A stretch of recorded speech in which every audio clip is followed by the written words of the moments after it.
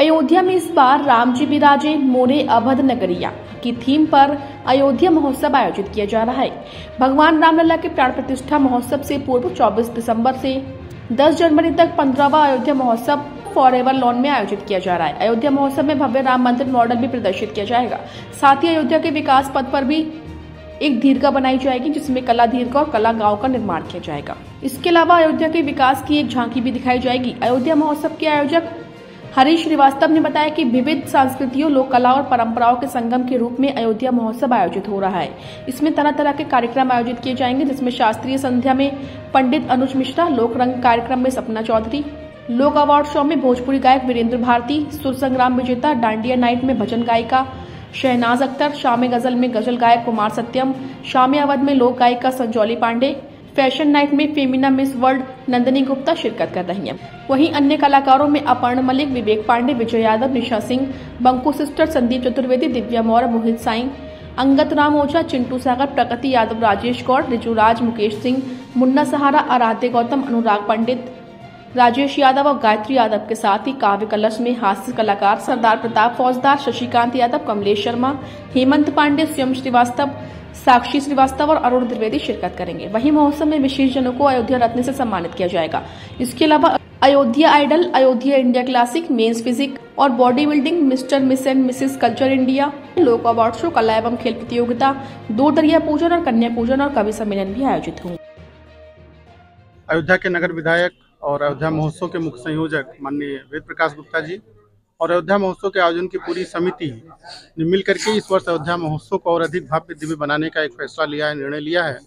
राम जी, चूँकि हमारे अयोध्या में बहुत प्रतीक्षाओं के बाद अपने भव्य मंदिर में विराजने जा रहे हैं, ऐसे में निश्चित रूप से अयोध्या महोत्सव में श्री राम की कृपा से, उनकी अनुकंपा से और अधिक भव्य होगा और अधिक विभिन्न प्रकार के आयोजन, विभिन्न प्रकार के वैचारिक विभिन्न प्रकार के मनोरंजन के दृष्टिकोण से, विभिन्न प्रकार के शैक्षणिक, सामाजिक दृष्टिकोण से ऐसे आयोजन किए जाएँगे जो अयोध्या की गरिमा, अयोध्या की परंपरा, अयोध्या की परंपरागत शैलियों को, लोक कलाओं को एक मंच देंगे और अधिक भव्यता के साथ आयोजित होगा। कितने दिवसीय कार्यक्रम होगा जी इस वर्ष अयोध्या महोत्सव 24 दिसंबर से प्रारंभ होकर के 10 जनवरी तक चलेगा जिसमें विभिन्न प्रकार के आयोजन होंगे अयोध्या रत्न का वितरण होगा।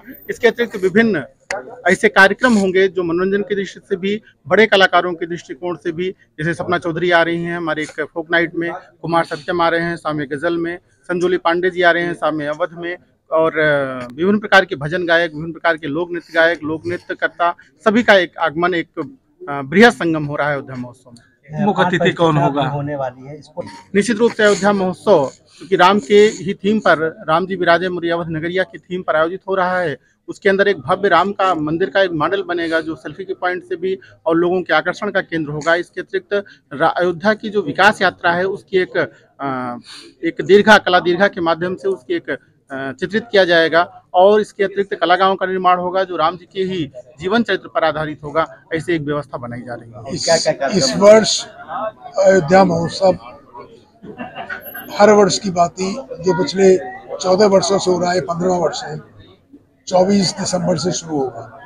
और ये ये वर्ष बहुत ही महत्वपूर्ण है हम सब लोगों के लिए अयोध्या वासियों के लिए और अयोध्या महोत्सव के लिए। क्योंकि अयोध्या महोत्सव इस वर्ष प्रभु राम के दिव्य भव्य राम मंदिर गर्भगृह में विराजमान से पहले, होने से पहले ये अयोध्या महोत्सव पड़ रहा है। तो अयोध्या ऐसे में विशिष्ट नगरी बन नहीं है। और 22 जनवरी को प्रभु राम अपने गर्भगृह में विराजेंगे। ये अवसर इतना महत्वपूर्ण है जिसके सदियों से इंतज़ार था।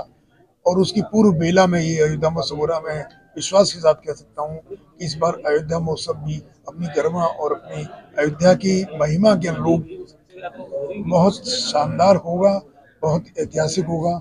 और इस बार उसका जो थीम लिया है, ये बहुत ही मैं हरीश जी को धन्यवाद दूँगा। राम जी भी राजे मोरे अवध नगरिया में। राम जी भी राजे मोरे अवध नगरिया में।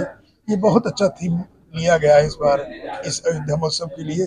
और इसकी गर्मा और महिमा के अनुरूप ही इस बार मुझे विश्वास है, विभिन्न क्षेत्रों में इस अयोध्या महोत्सव के माध्यम से हम अपनी प्रतिभाओं को, जो ग्रामीण क्षेत्र की शहर की, उनको आगे बढ़ाने का भी काम करते हैं। चाहे खेल कूद हो, चाहे सांस्कृतिक कार्यक्रम हो, या तमाम कार्यक्रमों के माध्यम से हमारे बच्चे आगे बढ़ते हैं। इस अयोध्या महोत्सव के कार्यक्रमों में उनकी भागीदारी होती है, उनको आगे मौका मिलता है।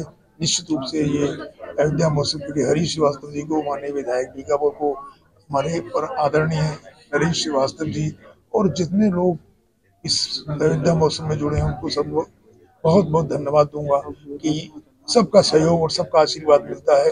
और निश्चित यशस्वी मुख्यमंत्री योगी आदित्यनाथ जी का भी विशेष आशीर्वाद हम लोगों को मिलता है अयोध्या महोत्सव में और अयोध्या की गरिमा और महिमा के अनुरूप हर तरह के कार्यक्रमों के लिए जो पर्यटन विभाग है, उससे भी हम लोगों को सहयोग मिलता है। उसको भी मैं हृदय से आभार व्यक्त करता हूँ और निश्चित रूप से मैं ये कहना चाहूँगा कि इस बार का अयोध्या महोत्सव ऐतिहासिक होगा और प्रभु राम के विराजमान होने से पहले अयोध्या महोत्सव का जो थीम है, उसके अनुरूप इस अयोध्या महोत्सव को आयोजित करने की हम लोगों ने निर्णय लिया है।